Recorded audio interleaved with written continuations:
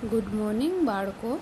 આપણે ગણિતમાં પાના નંબર સડસઠ ઉપર મૌખિક ગણતરીનું અનુમાન કરો. એ આપણી ગણતરી થઈ ગઈ હતી.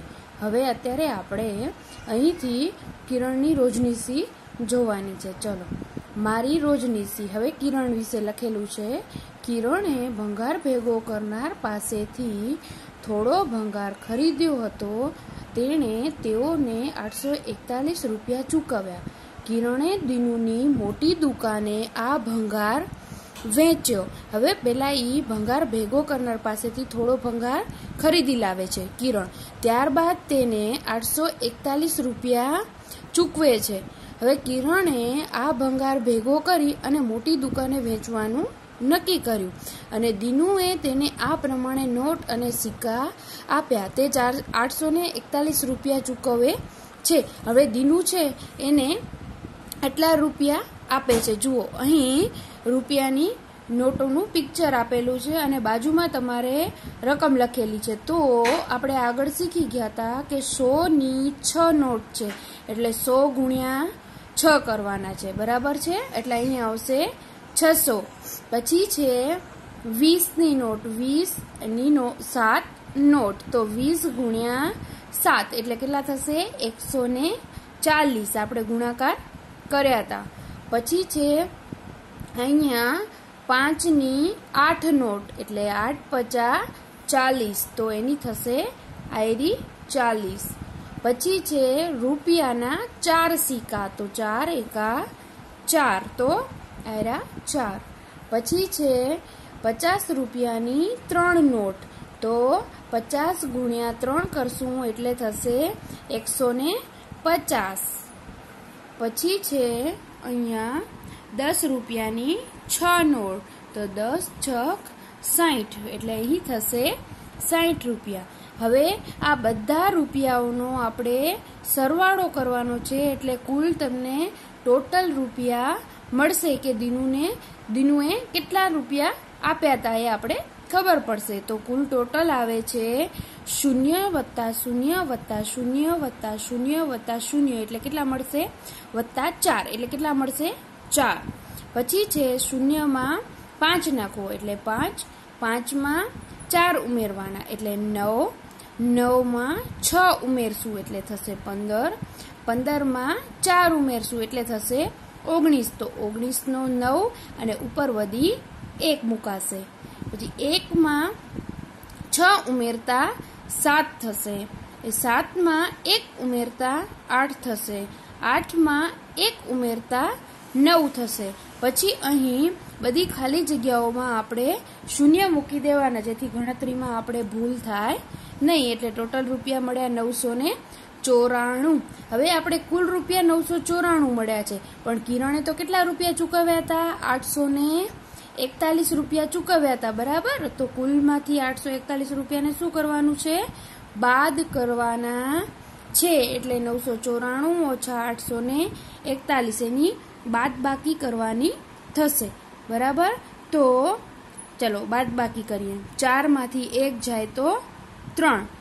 નવમાંથી ચાર જાય તો પાંચ અને નવમાંથી આઠ જાય તો એક. એટલે હવે કિરણને કુલ કેટલા રૂપિયા મળ્યા? એકસો ને ત્રેપન રૂપિયા મળશે. આ કિરણની રોજનીશીમાં આપણે લખી દીધું. એને કેટલા મળ્યા? એકસો ને ત્રેપન રૂપિયા. ઓકે, ચલો, હવે પાછળ. પેજ નંબર અડસઠ ઉપર. પછીથી કિરણે ભંગાર લેનારને નવસો ઓગણીસ ચૂકવ્યા. જ્યારે તેણે ભંગાર વેચ્યો, ત્યારે દિનુએ આ પ્રમાણે નોટ અને સિક્કા આપ્યા હતા. હવે ભંગાર લેનારને કિરણે નવસો ઓગણીસ ચૂકવ્યા, બરાબર? હવે ભંગાર જ્યારે એને વેચ્યો, ત્યારે દિનુને એને પાછા આ પ્રમાણે રૂપિયા આપ્યા હતા. તો એને વળી પાછી આપણે હવે કિરણની રોજનીશીમાં નોંધશું. તો હવે આપણે અહીંયા કિરણની રોજનીશીમાં નોંધ કરશું. આ વખતે તે કેટલા રૂપિયા કમાઈ હશે તે જણાવો. તો હવે એને કેટલા રૂપિયા મળે છે તે આપણે કહેવાનું છે. ચલો. પહેલા અઠ્યાવીસ સિક્કા. કેટલા છે? એક રૂપિયાનો એક રૂપિયાનો સિક્કો છે એવા અઠ્યાવીસ છે. તો કેટલા થશે? અઠ્યાવીસ ગુણ્યા એક એટલે કે અઠ્યાવીસ. પછી સોની પાંચ નોટ તો પાંચ ગુણ્યા સો એટલે કેટલા થશે? પાંચસો. મેં તમને સમજાવ્યું હતું કે શૂન્યને કોઈ પણ સંખ્યા સાથે ગુણીએ તો જવાબ શૂન્ય જ આવશે. પછી છે પચાસની એક નોટ. તો આપણે એક ગુણ્યા પચાસ એટલે આવશે પચાસ. પછી છે અઢારની દસ. બરાબર?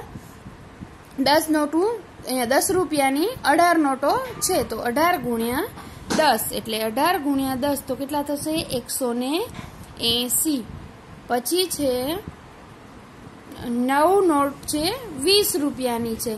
તો વીસ ગુણ્યા નવ, એટલે કેટલા થશે? એકસો ને એસી. બરાબર?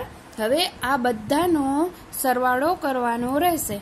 પાંચસો વત્તા એકસો એસી વત્તા પચાસ વત્તા એકસો એસી વત્તા અઠ્યાવીસ.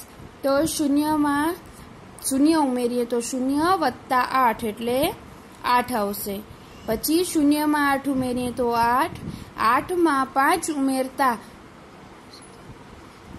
તેર આવશે અને તેરમાં આઠ ઉમેરવાના એટલે એકવીસ થશે. એકવીસમાં બે ઉમેરતા ત્રેવીસ. તો ત્રેવીસનો ત્રગડો ઉપર વધી બે મુકાશે. બરાબર? બેમાં પાંચ ઉમેરતા સાત મળશે. સાતમાં એક ઉમેરતા આઠ મળશે, આઠમાં એક ઉમેરતા નવ મળશે. એટલે કુલ રૂપિયા આપણે મળે છે નવસો ને આડત્રીસ દિનુને આપ્યા છે જે તે. હવે અહીં ચૂકવ્યા કેટલા હતા? નવસો ને ઓગણીસ. ઉપર જુઓ, તમને રકમમાં આપેલું છે કે નવસો ઓગણીસ રૂપિયા ચૂકવ્યા છે. તો હવે આપણે નવસો આડત્રીસમાંથી નવસો ઓગણીસ રૂપિયા બાદ કરવાના રહેશે. ચલો, તો કરીએ બાદ બાકી. હવે જુઓ, આ બાદ બાકી દસકાવાળી છે. આઠમાંથી નવ જશે નહીં, એટલે ઉપર દસકો લેવો પડશે. દસમાં આઠ ઉમેરીએ, એટલે અઢાર થશે. બરાબર? પછી અઢારમાંથી નવ બાદ કરવાના થશે, એટલે નવ આવશે. અહીંયા દસકો લેવાથી અહીંયા એક સંખ્યા ઓછી કરવી પડે, એટલે ત્રણમાં એક ઓછા કરીએ તો બે. બેમાંથી એક જાય તો એક વધશે, ઓકે? અને નવમાંથી નવ જાય તો જીરો. હા, એટલે જવાબ આવશે ઓગણીસ રૂપિયા. એટલે આ વખતે એને કેટલા રૂપિયા કમાઈ લીધા?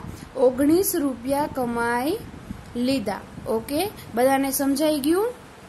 હમ, ચલો, હવે આપણે આ ચેપ્ટર પૂરું થાય છે, તો આપણે હવે આમાં વધારાના દાખલા ગણશું. જેમને હોમવર્કમાં આપીશ. ચલો બાય